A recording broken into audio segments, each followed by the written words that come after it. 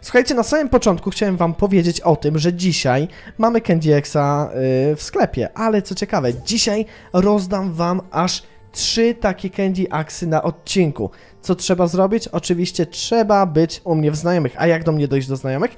Po pierwsze, trzeba mieć kod Ewela, bo dodaję tylko i wyłącznie wspierających i e, te fałdolce wysłałam tylko i wyłącznie osobom, które mnie wspierają, no bo dzięki wam to wszystko mam. Także bardzo wam wszystkim dziękuję. E, I tak jak mówię, trzy takie Candy dzisiaj polecam na odcinku.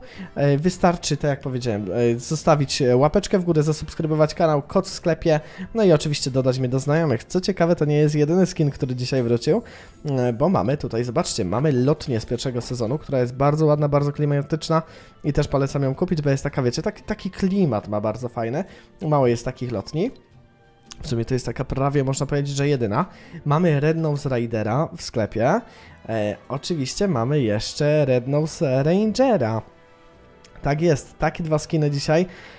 No, nie było ich dokładnie rok temu, rok nie było ich, także no, bardzo, bardzo ciekawe skiny.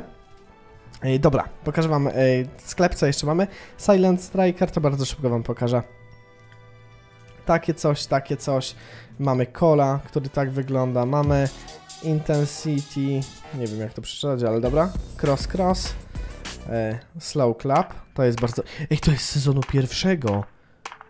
Ej, tego to nie było chyba bardzo długo, aż to później sprawdzę i wam napiszę w opisie. Tutaj mamy Wilka. E, no i Shadow Opsa też sezon pierwszy i dodano plecak do niej, nie widziałem tego plecaka.